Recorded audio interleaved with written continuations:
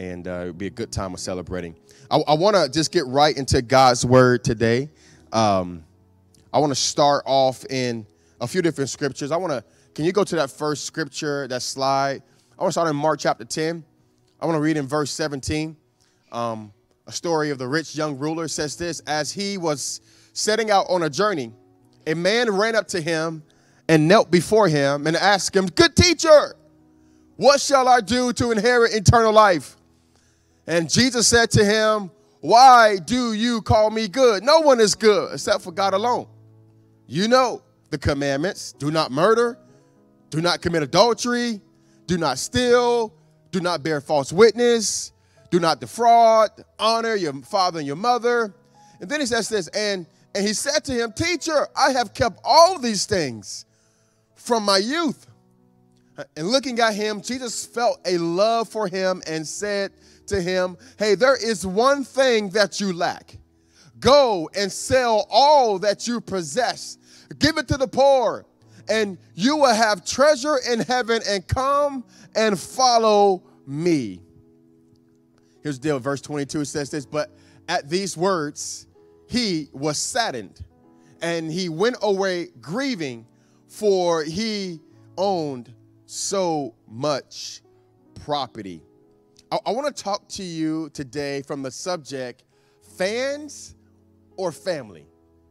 Fans or family. I think that there is a, a, a, a huge difference of someone who's a fan of Jesus or a fan of church and someone who's family with Jesus and family with the church. I, I, think there's a massive difference, and it's my desire today to bring attention to us because I think that in, in, in the American Christianity that we have today, there are tons of fans. Lots of people, I love God. I'm, I'm sold out for God. I'm all in. And I think there's a difference between when you are a fan and when you're family. In fact, a few, a few weeks ago, uh, watching the NFL and the NFL, I, I love watching football, and it's so weird that there's no fans inside the stadium. And one of the coaches says that the crazy part is that the, the only people that's really allowed in the stadiums these days are the ones who have an impact on the field. Those who have no impact on the field, they're not allowed in the stadium. In fact, it's only the people who, who can make a difference on the field. The fans are not allowed. I think what we're doing and what God is doing with the American church and what he's doing is that he's only allowing those who are on the team. He's only allowing those who are having an impact on the field, who's making a difference in the world. The fans that seems to be going away. And I think that what the Lord wants to do today is that he wants to reveal to us who's a fan and who's family today. Let me pray. God, would you speak to us for the next 22 minutes and 34 seconds? God, we need a word from you, Lord. I pray that you may help me to share this the way that you're giving it to me. In Jesus' name. And everybody said, Amen. Amen. So it's my desire uh, for us to, to figure out are we a fan or are we family? I, I, I want to propose to you that God's calling us to be family. And there's a, there's a different expectation that comes with being family. You know, like there's lots of the things uh, fan, fans can celebrate the wins and they can be far away with the lo- losses. But uh, I want to talk to you today because what I've noticed is that there, there are a lot of fans. There are a lot of people who are expecting God to perform for their pleasure. There are a lot of people who come to God as a football team where they come into the stadium, they shout really loud because they want their team or their God to win on their behalf. And then what happens is when the game is over, you're not going into the locker room, you're not going to practice, you're not going to the film study room. In fact, you're going home. And what God wanted to, to, for me to share with you all today is that I think that there is a season where God wants you to say, you know what? I'm no longer going to be a fan of God, but I want to be family with God. There's a whole different expectation that comes with family. You know, and my first point today is that with family or fan, a fan wants benefits, families carry the burden. A fan wants benefit, but a family uh, carries the burden. I, I, I, remember growing up, I had this friend named Mikey. Mikey was like the guy that everybody hung out with at church, I mean, at, in our neighborhood. One of our favorite friends to hang out with, he had the trampoline. Anybody have one of those people in the neighborhood that they have a trampoline? The dude had a go-kart. I know y'all know what those things are, but it's like these little dangerous things where you're gonna hurt yourself, and he had a go-kart, and Mikey had all the fun stuff. It was like the place to be. We were going to his backyard, we were going to a trampoline, and we would do it almost every day. And after a while, Mikey stopped inviting us. We're like, Mikey, like, what, what's going on? Like, we, we, we want to go on a trampoline. We want to ride the go-kart. We want to we want to play basketball in your backyard. And he says, hey, I can't have you guys come anymore. I said, why? He said, whenever you all come, you make a mess. And you don't have to clean it up, but I have to clean it up. So you are no longer invited. And it was in that moment I realized that Mikey had a burden because he was family of that household that I didn't have. And so I got to participate in the trampoline jumping, in the go kart riding, and having a good time playing basketball in Mikey's backyard. But I didn't have to carry the burden that Mikey had simply because I wasn't family. Can I tell you today that when you are a fan of God, you can enjoy all the benefits. You can come to church and enjoy the great worship music and hear the, the sermons and, and check your, your kids into childcare, and it's an amazing time. But there, there is a different burden that you carry when you're family. There's a different expectation. You got to clean up after the barbecue. Come on, somebody. You, you, you got to make sure things are back into order. And all the crowds have left, and all the people have left, and the, and the music is turned down from the barbecue, and now it's just you and these dishes and this trash and this mess, and you have to clean it up because you are a family. And can I tell you today, God says to me, God says to us today that it's time for us to not only enjoy the benefits of Christianity, but it's time for us to pick up the burden of Christianity. Now, let me do some teaching real quick. In Matthew chapter 11, verse 28 through yes. 30, it says this Come to me, all you who are weary and burdened, and I will give you rest. Take my yoke upon you and learn from me, for I am gentle, humble in heart, and you will find rest for your soul. For my yoke is easy and my burden is light. Now, when I read that, I thought that when I became a Christian, there's no burden for me to carry. Like I thought that what happens is, is that like I there's just no burden. There's no weight to this thing. I give myself to Jesus, give my life to Jesus, and like, oh man, this is amazing. Praise God. I can live this fun filled life and I can enjoy this amazing freedom that I have in God. It's so amazing. And but I just want to convince you and tell you that that scripture is not talking about the weight that we carry as God's people. That scripture is talking about the weight of sin. And really, really, when you really break down that scripture, what he's saying is that I don't want to take away your burden. I just want to give you another way and a new way of how to carry it. Can you bring me that suitcase right, right here? Now, so let me kind of give you an illustration. Like this suitcase is really, really heavy and it's got lots of stuff inside of it. And it would be very annoying if I would take this suitcase throughout the airport and I would carry this thing throughout the airport, knocking people out and, and hitting people, and, I'm, and it's super heavy. But here's what God says God says, I'm not going to tell you to get rid of your suitcase.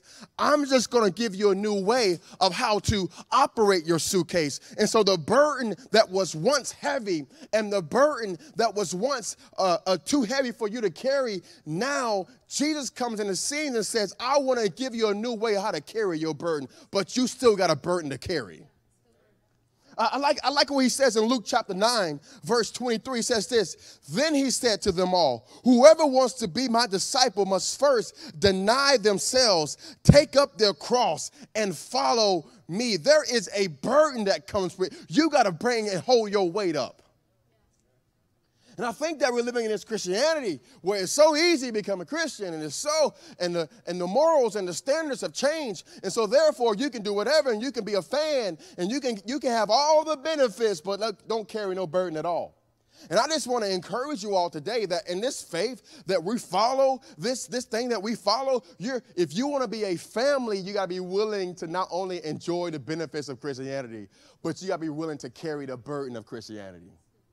You got to be ready to get dirty. You got to get ready to, to, to, to give your life to God. You got, you got to be ready to show up early. You got to be ready, ready, ready to serve your church and, and love on people next to you and, and do things in people's lives that they don't have. Like, you got to be ready for these things because if you're not ready, here's what's going to happen you will turn into a fan and not family today.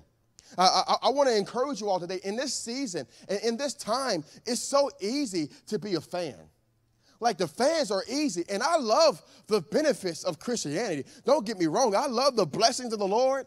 I love how God comes in our lives. I love how God can touch our lives and heal our lives. But can I tell you all today that if we're going to enjoy the benefits of family, we got to be willing to carry the burden of a family. Mikey stopped inviting us over because we didn't want to carry the burden.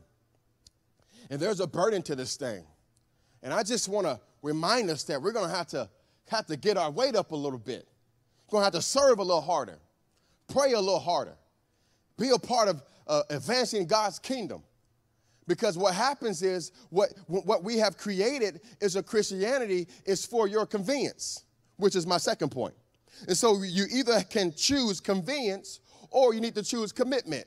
I'm asking you today that not only as family do you enjoy convenience, but you also enjoy commitment you also enjoy like the, the, the day in grind of following God and serving God. You, you, you have to enjoy that. I love what the Bible says in 1 Corinthians chapter 9, verse 24. It says this, that I have beat my body and make it, and make it a slave so that after I have preached to other, I myself may not be disqualified from the race. This thing will require commitment.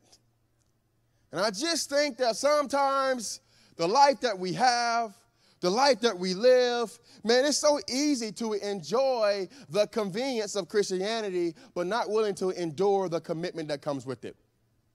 And so, oftentimes, what we do is that we love the convenience of a new life, but not the commitment to build one. We love the convenience of a miracle, but not the commitment to work and to strive towards that miracle. Can I tell you today that when we need a miracle for God all the time, that is a bad sign? Like I always thought that, oh God, I want to be in a position where I need a miracle. And I need a miracle. If we need a miracle financially, that is a that is a byproduct of sometimes a life of not bad stewardship. Like if we need a we need a miracle in relationships, maybe maybe there is a that's a process of unhealthy habits that led to that miracle. I'm not saying for you to desire miracles from God, but what I am saying is that don't put yourself in a position where you always need a miracle from God because there is a commitment, a daily focus, a daily coming to God, a daily going after God that will, will, allow us to become family and not a fan. Like I, I think in this what we're dealing with right now in, in the country in the world that we're living with, like the, the world that we're in, there's lots of fans. There's lots of people who want to call on the name of the Lord. And lots of people who want to say, God, I'm all in. God, I'm ready for this thing. But oftentimes what we what we experience is that they're not ready to go in to be a family. They're not ready to go in and, and, and, and be faithful. Like because you know, there's lots of people, like I love having babies. Like I love babies, y'all like babies is amazing. I love the babies in the church. I love the little infants. And I love that I get to kiss on those babies and hug those little babies. And the favorite part about babies that I love today, that I can give them back. Come on, somebody. I can just I can rev them up and get them excited and give them all the candy I want and enjoy all that stuff. And I can enjoy the convenience of that child, but I don't have to experience the commitment to take care of that child. Here's why because I'm not family. And I think some of us, it's like we come to God like a little baby God, I love your presence. God, I love your healing. And God, I love the money that you give. I love the blessing that you give. But God, I'm not willing. I want to just give it back when it gets hard. I want to just give it back when it's inconvenient. I, I, want to give it back when, when the pastor asks to serve, or when the pastor asks to give, or when the pastor asks to go to your neighbor and love on them, and to go to the streets of those who have been forgotten about and love on them. Like it's it's time for us to say, you know what?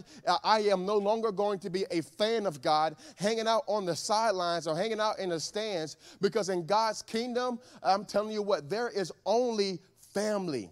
And I, I, love like what we're gonna do when we first thing we're gonna get to heaven is that we're gonna have a huge, massive barbecue. And I tell I say almost every week that I that's one of my favorite things I can't wait to do. We're gonna do when we get to heaven is have a barbecue in heaven, and it's gonna be a massive table. The table is going to be long. The table is going to be set. And unfortunately, you know, I grew up in my grandma's. My grandma had two type of uh, uh, uh, uh, eating situations. We had the place where we would eat every day that our friends would eat at, but then we had like the formal dining room. You know the ones where like the, the glass uh, the glass case and the glass china's there, and it's really nice. And it's only only special people are invited to that table. In fact, to this day, I've only eaten at my grandmother's formal dining room a few times in my life. Here's why: because you got to be in a special place to be invited to that dining room. And I want to let you know today that right now God is giving all of us the invitation to be family, so that when that time comes, we can be invited to that special dining room that God has set for us. It's time for us to leave being a fan and to become family. You know, like I, I really believe this that we got to move from just wanting benefits but carrying the burden. We got to move from just wanting convenience to now being committed. And then my last point is this that we got to move from just wanting freedom and tap into what I call the fear of God. Y'all remember the fear of God? You remember that? And the fear of God, and it, it, it's not a concept that is foreign to many of us, but it's a concept that is foreign to our souls. And what I mean by the fear of God is that I mean that, that there are times in life where we have to honor God. There is a there is a reverence towards God. There is a honor towards God. There it is. There is like God is watching me, so I need to act a certain way. There, there is a respect towards God. So I, I remember like growing up and uh, like my mom is like, anybody meet my mom, she's one of the, the sweetest ladies ever. Just sweet. She's quiet. She don't talk much. When she do talk, you listen. And my mom is just sweet. She's just nice. And my friends would come over and they would enjoy my mom. They would say, Man, you got the best mom ever. Your mom loves you so much. And, and I, I really did have the best mom ever. She is absolutely amazing and she's amazing, amazing lady. And uh, I remember though is that like they didn't see the mom that I saw. They only saw like the mom that would invite them in and and you know give them some food and hang out with them. But as soon as my friends leave and that door is closed and that room is dirty, it is chaos in that house. Come on, somebody. I mean, the belt comes out, the switch comes out, it all comes out. I'm like, Mom, you were a different person five minutes ago. You know what I'm saying? Like, you get a different viewpoint when you're family, right? Than you do when you're a friend or a fan. And I just want to let you know today that sometimes, like, we gotta we got to change our viewpoint that not only is our God the nice, grace God, and He loves everybody, but He's also the truth God. Come on, somebody. He's also the fear of God type God. He's also the God that He wants us to honor Him. We gotta we gotta get the whole perspective of who our God is. He's not, he's not only a God who forgives, but He will be a God who one day will judge. Not only he's a God who we see sometimes and he goes after the 99 and, and goes after that one person, but he's also a God that one day, when the end of the world comes, there will be a time where he has judgment over the world. And it's just my desire today that as COVID has gotten rid of fans, I pray that today that there's no longer fans in our church, that there's only family and there's only people who can carry this. And here's what I love is that when we enjoy the benefits and carry the burden,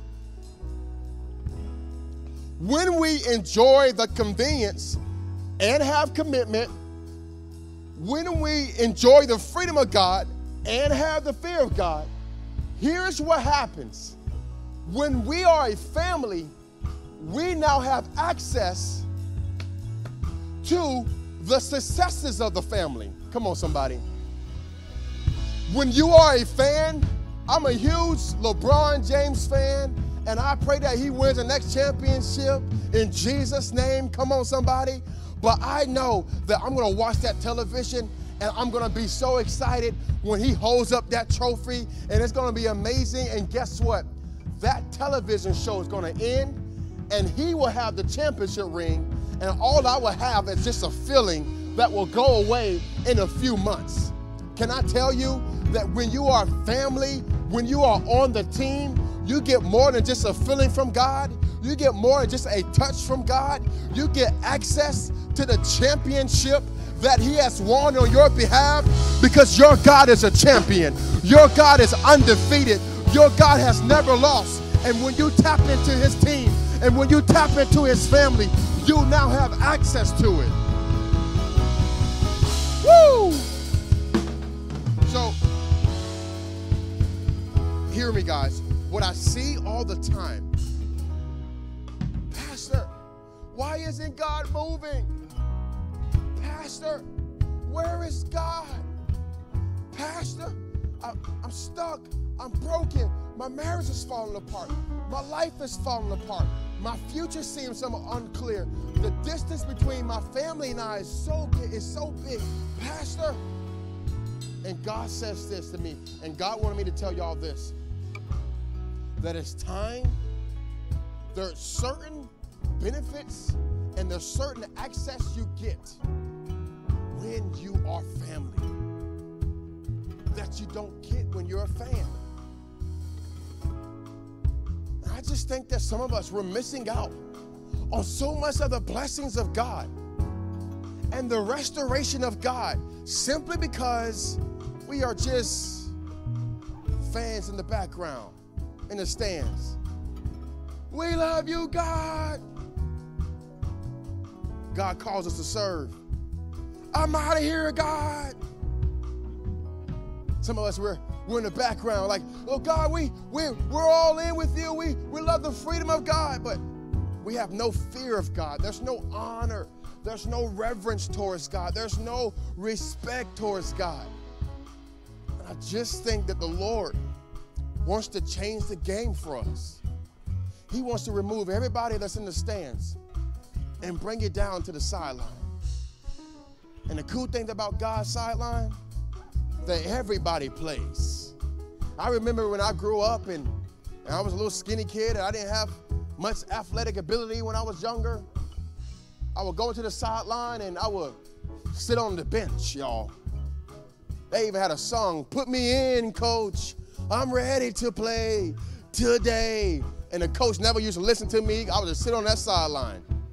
But that one day, when the tight end in front of me got hurt, and we were playing against a, a, team, and they threw me a little pop pass. I caught the pop pass. The safety missed me.